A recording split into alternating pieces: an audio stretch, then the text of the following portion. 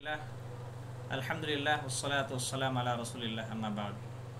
Respected doctors, Assalamu alaikum wa rahmatullahi wa barakatuh.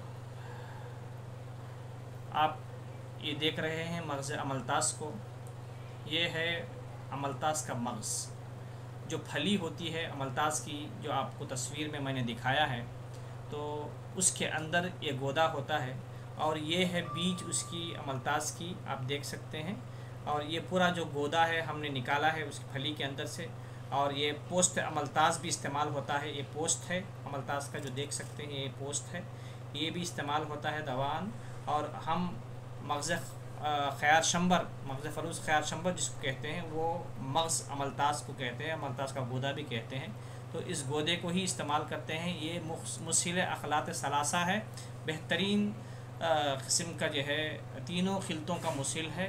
اس کو ہم بہت ساری مطلب جو ہے کنڈیشنز میں استعمال کرتے ہیں۔ میں اس کو آپ نسخے کے اندر میں آپ کو بتاتے چلوں گا کہ ایک ون بائی ون کیسا جو ہے اس کو استعمال کیا جاتا ہے اور کن کن نسخوں کے اندر شامل کیا جاتا ہے اور اس کو کیسے جو ہے بہترین اس کے اثرات ہیں۔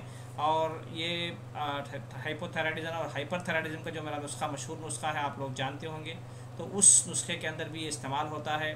اس اس کے سلسلے میں انشاءاللہ میں نسخہ میں بتاؤں گا آپ کو کہ اس کا استعمال کیسے کرنا ہے۔ تو آپ یہ دیکھ لے سکتے ہیں ماہیت کے طور پر جو ہے آپ یہ دیکھ سکتے ہیں کہ مغز کیسے ہونا چاہیے اور یہ مغز جو ہے، یہ جو ہے اس کو ہم مطلب چھلکا الگ کر کے مغز کو الگ کر کے بھی استعمال کر سکتے ہیں۔ یا چھلکے سمیت جو ہے آپ استعمال کرنا ہے تو بھی استعمال کر سکتے ہیں۔ آپ رات میں بھگو کر ڈال کے صبح میں جو ہے اس کو جو ہے، خیساندے کے طور پر آپ استعمال کریں گے تو بہت فائدہ ہوتا ہے۔ اس کا جو شاندہ نہیں پیا جاتا کیونکہ جو ہے اس کی تقویت کم ہو جاتی ہے اور جو شاندے کے اندر جو ہے اس کو استعمال جو ہے صحیح درست نہیں ہے عطیبہ کے اور میں بھی میں استعمال نہیں کرتا ہوں۔ تو خیساندہ اس کو استعمال کریں گے تو بہت زیادہ فائدہ ہوتا ہے۔ تو انشاءاللہ میں اگلے ویڈیوز میں اور آڈیوز میں آپ کو بتاتے چلوں گا کہ اس کے استعمالات کیسے ہیں۔ السلام علیکم ورحمۃ اللہ وبرکاتہ۔